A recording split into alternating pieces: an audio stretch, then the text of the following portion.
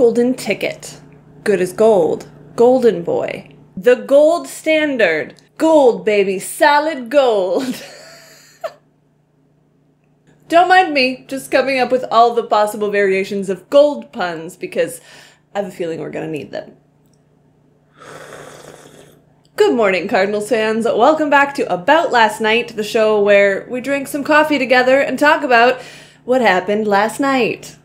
What a difference 24 hours can make, am I right? This is why we don't panic after game one, friends. The Cardinals and the Brewers each sent young pitching stars to the mound last night, and those previously problematic 1 through 6 spots for St. Louis greeted Freddie Peralta with a walk, a two run homer, a hit by pitch, a fielder's choice, an RBI double, and another walk. And then sluggers, Kolten Wong and Harrison Bader, went back to back again with strikeouts. But that is what the top of the order should look like, and that, my friends, was just the opening act.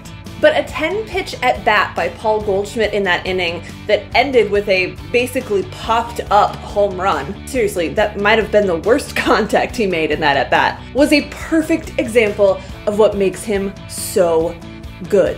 Strength. It's his brute strength, obviously. Get some good pitches, keep it simple, hit him hard, he told Jim Hayes after the game. And yes, please do more of that. He did. So the Cardinals once again jumped out to a 3 0 lead early, and Jack Flaherty was cruising through two and two thirds innings. But did I mention that this Brewers lineup is really, really good? Tie game. It was back and forth after that station to station baseball, contributions from everyone on both sides, and an atmosphere that felt a lot more like late August than late March. Palpable, one might call the tension from both dugouts. Mike Shildt made his first questionable pitching choice of the season when he left Flaherty in to face the top of the Brewers lineup again after seemingly running out of steam in the fourth inning. Jack's slider wasn't sliding enough and his fastball got a little floaty in the top of the zone. I wasn't a huge fan of the move, even though I know it was only the fifth inning, but it turns out Shildt wasn't a fan of what he saw from Jack in the fifth inning, as John Gant pretty quickly came in for the second straight day to eliminate a Brewers threat. Here's the really good news Paul Goldschmidt's a Cardinal. Watching him last night, I kept imagining, well, this. Three. Remember the radio? Radio? Stick? Sitting in the stick? Let's go! Let's go! Except the opposing pitchers are Derice and Sanka, and the baseballs are the radio. Dude just crushes baseballs.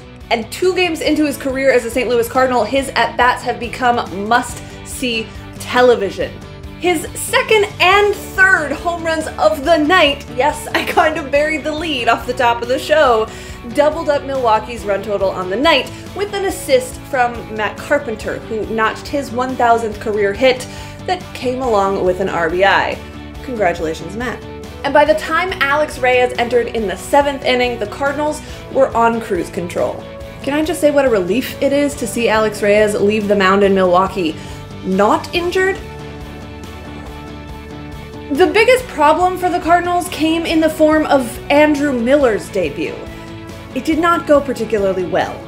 A homer, a hit by pitch. If you want all the details, check out Stu's full recap at birdsontheblack.com. Suffice it to say, the NL Central has been put on notice. Paul Goldschmidt is here, and he's an entirely different level of hashtag good. And that is the story of the Cardinals' 9 4 win over the Brewers the night that Paul Goldschmidt's St. Louis legend began. Be sure you hit subscribe and turn on your notifications because you never know what story I'll have to share with you next. It's Dakota Hudson tonight getting his first major league start, and I'll see you then.